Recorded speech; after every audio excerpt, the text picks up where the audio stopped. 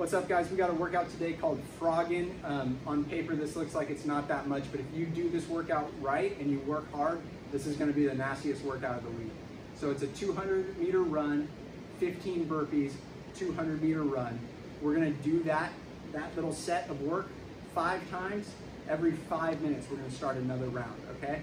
So um, clock counts down, three, two, one, go. I'm gonna run my 200 meters, come back in, 15 burpees, chest goes on the ground, jump and clap overhead, 15. And now I take off on my 200 meter run, I come back in, I look at the clock, and the clock says that took me three minutes.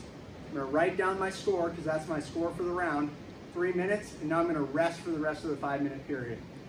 Once the clock starts again for another five minute period, I go off, do the same thing again, come in and record my score.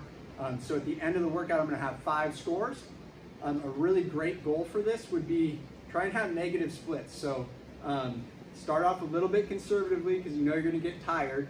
Um, but if your first round was, uh, you know, three minutes and 30 seconds, it would be awesome if your last round was three minutes and 20 seconds.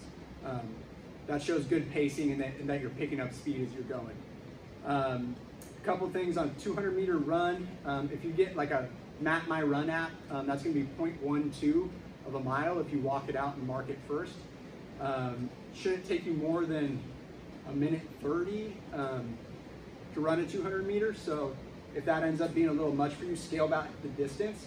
And then um, we want to make sure that you're getting a little bit of rest every round. So if this is taking you um, more than four minutes, cut back the number of burpees you're doing. Go from uh, 15 to 10 or 15 to 8, whatever makes sense, so that you can get down under that four minute mark and you have at least one minute worth of rest every round.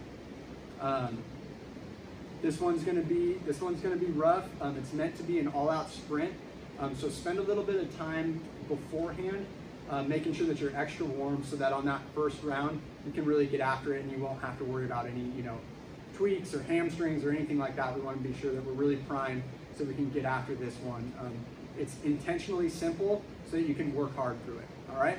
So have fun. Um, post those selfies of uh, all of us wanting to throw up after all these burpees.